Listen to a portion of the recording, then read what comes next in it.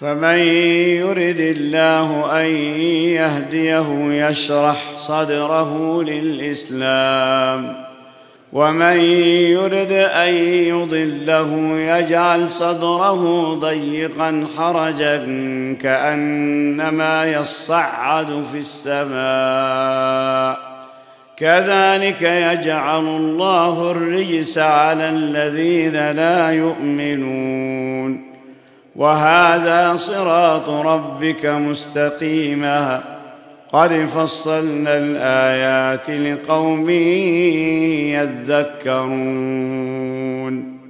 لهم دار السلام عند ربهم وهو وليهم بما كانوا يعملون. ويوم يحشرهم جميعا يا معشر الجن قد استكثرتم من الإنس وقال أولياؤهم من الإنس ربنا استمتع بعضنا ببعض وبلغنا أجلنا الذي أجلت لنا قال النار مثواكم خالدين فيها إلا ما شاء الله.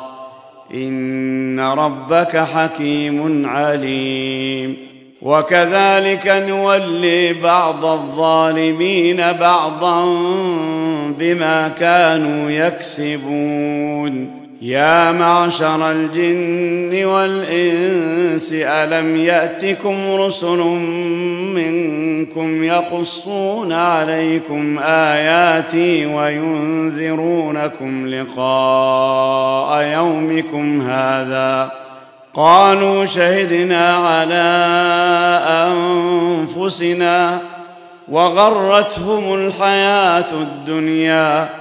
وشهدوا على أنفسهم أنهم كانوا كافرين.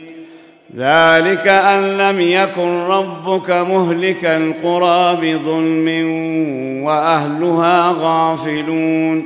ولكل درجات مما عملوا وما ربك بغافل عما يعملون. وربك الغني ذو الرحمة. إن يشأ يذهبكم ويستخلف من بعدكم ما يشاء كما أنشأكم من ذرية قوم آخرين.